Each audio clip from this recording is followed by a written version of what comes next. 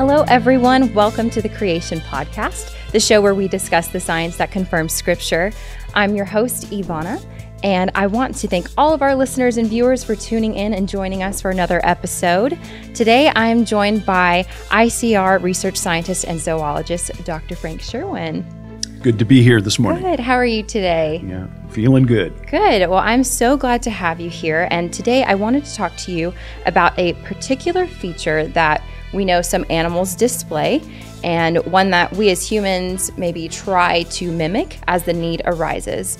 Uh, like, let's say you're at a family gathering that maybe you don't want to be at. And of course, what I'm referring to is camouflage. You bet. Camouflage is also known as cryptic coloration. It's an okay. ability for creatures to use disguising their appearance so they can blend in with mm-hmm. their environment and perhaps uh, avoid being a hot lunch for some other creature.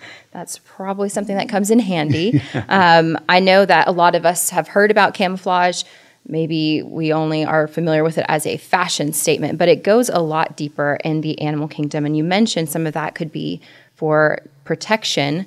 Um, but could you go a little bit further? Are there different kinds of camouflage? There are indeed. There's a whole different facet of, of camouflage out there that is unbelievably complex. And a variety of animals, both in the ocean, out of the ocean, uh, are found to exhibit these kinds of camouflage ability. Mm-hmm. For example, in the ocean, there's something called silvering like the color silver. Silvering, mm-hmm. uh, it's camouflage by reflection, the silver reflection. And most fish in the upper ocean uh, exhibit silvering, such as herring and sardines, and they have this reflective capability that actually helps them to blend in with the environment. Also, there's something called motion dazzle.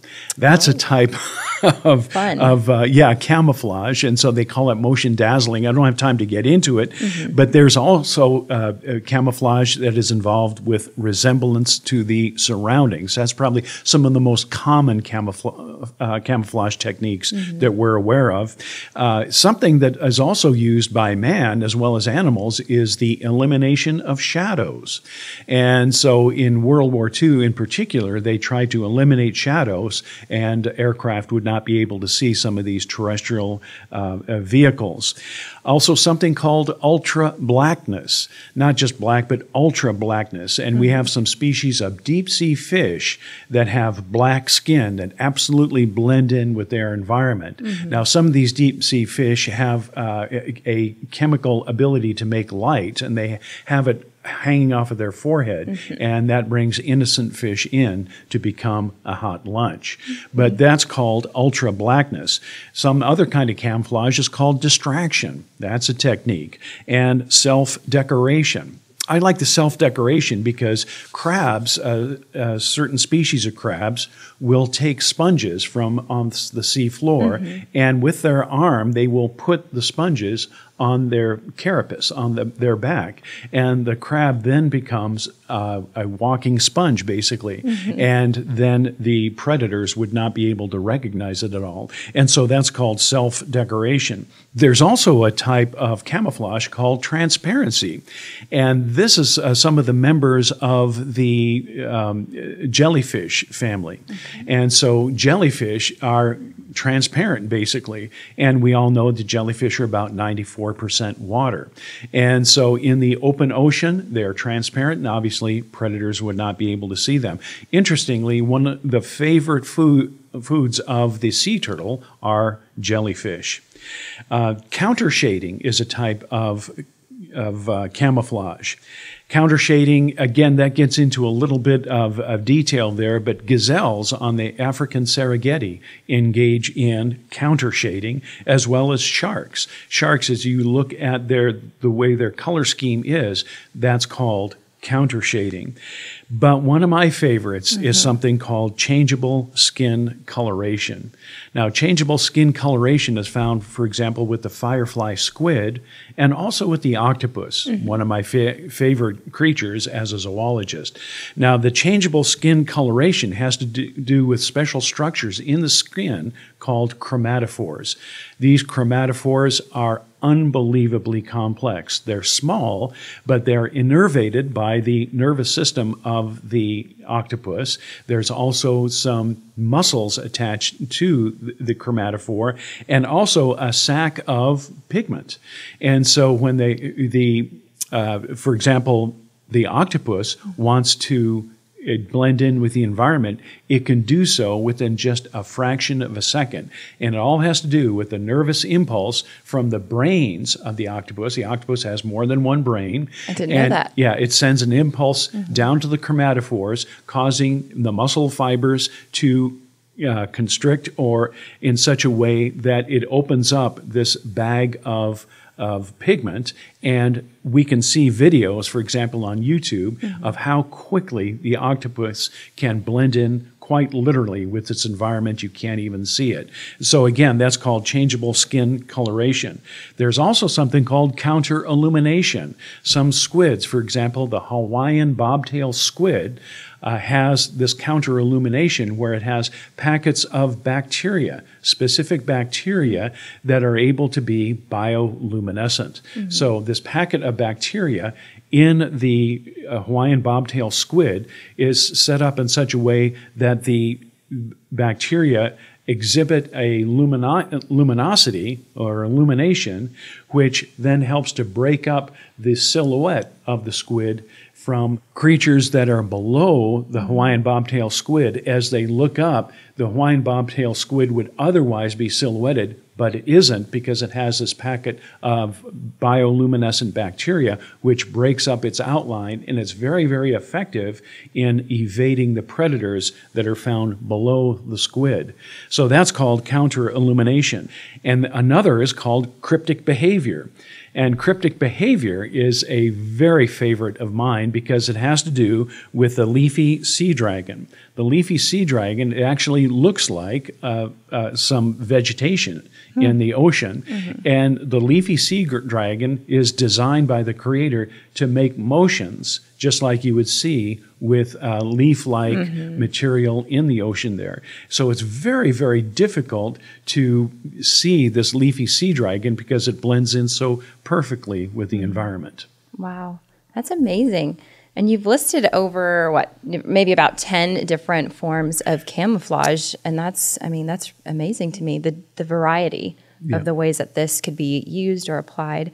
Um, and also interesting that it's sometimes used for defense, you know, protection.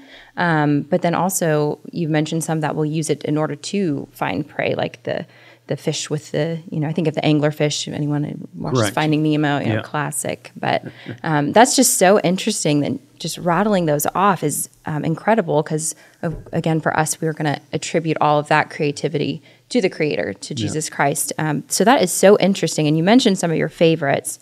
And um, as you mentioned, the octopus has its form of camouflage. Um, how how does that differ from maybe like a leopard? How you know we have the spots fur, on the leopard, right? It's it's a different form of camouflage. Can you go deeper into just how those different things apply to the different um, ecosystems or places that these animals and creatures live. Exactly. And so, what the Lord has done is infinite wisdom is design something like the leopard mm-hmm. or some of these other animals that I mentioned, like the gazelle, mm-hmm. and they just have the fur that has a different has a, a type of a blend to it. Mm-hmm. And so, for example, the spotted leopard has the spots. There's nothing you can do to change that. It really doesn't need to because a spotted leopard leopard doesn't have any real predators. It mm-hmm. preys on other animals, and so it blends in with the environment with that spotted uh, coat that it has. Now, that's vastly different from example, for example, with the octopus. The octopus it has these chromatophores, and it can scoot along the bottom of the ocean, and it can actually blend in with whatever it encounters. Mm-hmm. It is absolutely amazing how quickly it be done within just a fraction of a second. Now, now, there's some uh, terrestrial animals that can do that, such as uh, some types of uh, reptiles can blend in with the environment, but it takes time. It might take several minutes mm-hmm. to, for it to blend in with the environment. And so the speed of which this is accomplished, I think, is, is just simply amazing. Mm-hmm. Yeah, I agree. I think it's really interesting. And you mentioned the reptiles, I automatically think of um, a chameleon Correct. And, and how they they use that ability as well. Um, you've given us your favorites. You've given us a lot of different information about the variety of these. Um, can you give us more information about how, when we think of secular science and we can observe all these different kinds of creatures and their abilities to use camouflage?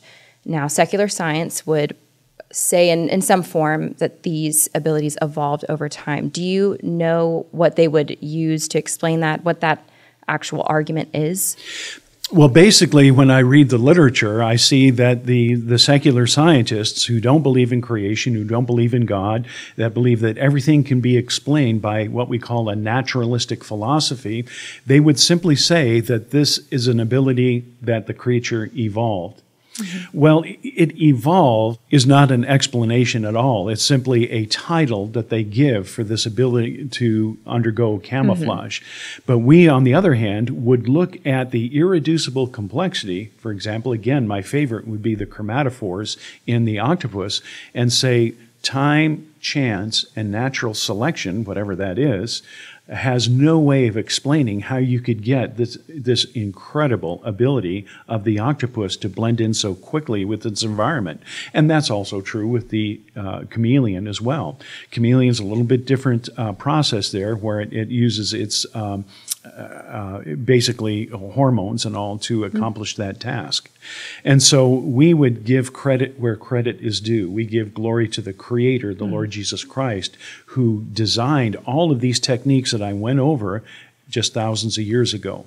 And with mentioning the chameleon, you talked about hormones being a trigger. You mentioned the octopus, it's more of a connection with their brains, mm. plural. We've learned that. Mm-hmm. Um, can you explain maybe just a few of the other examples, not all of them, but just a few of the other examples? What are the triggers for the camouflage effect in them, or is it just their skin is made that way? If you just talk about a couple of those examples.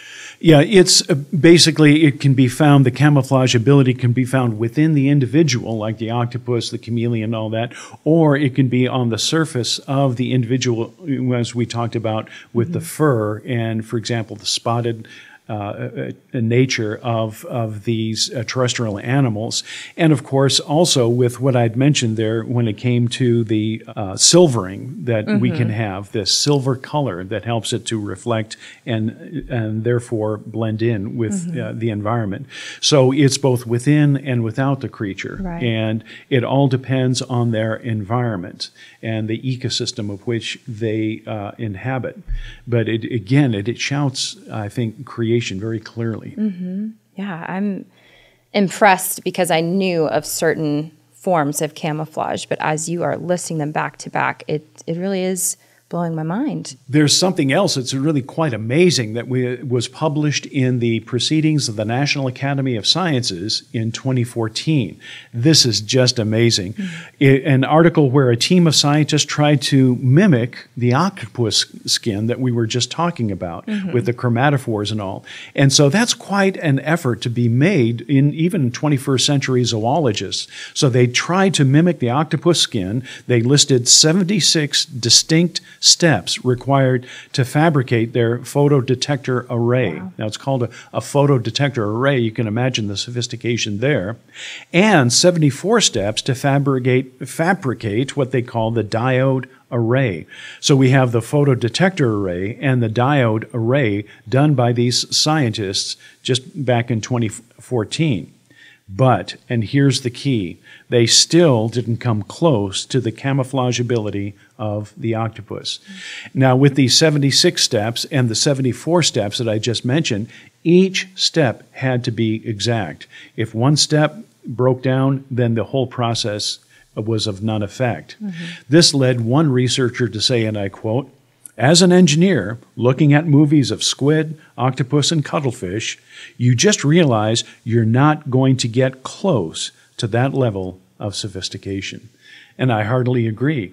God got it right the first time. Mm-hmm. He has done such an amazing job to produce the kinds of techniques that we see when it comes to camouflage. No matter what kind of camouflage we've been discussing, it all points back to creative design and organization of the Lord Jesus Christ. We give him the glory and the honor. Mm-hmm. Amen. I agree with that. And that's 150 steps, and they still couldn't even succeed. Um, so that's that's intense engineering, as they mentioned, and I think it's probably easier for Christians to look at this evidence and say, "Oh, okay, I see how that relates to a creator, design, all of that." Um, but for Christians, could you explain?